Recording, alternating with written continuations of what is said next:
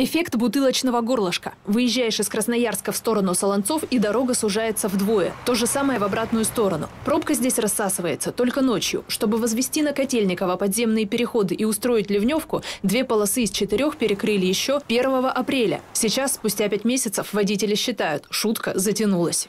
Я здесь живу в районе туздиспансера уже 6 лет. Ни одного пешехода я не видел. И он тут вообще ни к чему. Это только э, дорогу заэтывают. А так вообще это ни к чему. Этот пешеходный, я возмущен, допустим, пешеходным переходом здесь.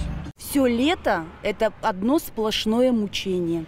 Ни на работу утром не приехать, ни выехать с этого города. Вот такие пробки бесконечные. Я не знаю, зачем это, для чего. Пешеходы тут действительно встретить сложновато. Вокруг только заправки, шиномонтажки да магазины запчастей. Это мир автомобилистов. Безлошадному человеку тут практически нечего делать. Тем не менее, переходов вырыли целых два. Расстояние между переходами меньше полукилометра, а строение такое капитальное, как будто им будут пользоваться тысячи человек в день. При этом я здесь вижу только небольшой частный сектор, довольно далеко, и непонятно даже, будут ли его жители приходить сюда пешком.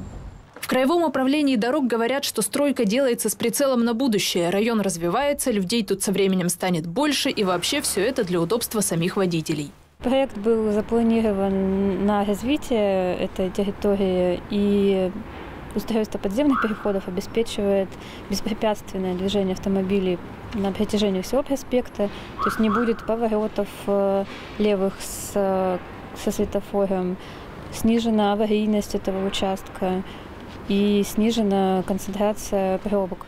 Пока же концентрация пробок, наоборот, зашкаливает. А как получится по итогу, можно будет оценить только осенью. Убрать перекрытие планируют в сентябре, а полностью сдать объект в октябре. К тому времени готовы должны быть не только переходы, но и новый асфальт и ливневая канализация. Точные даты пока неизвестны. Мария Антюшева, Павел Потылицын, Енисей. Новости.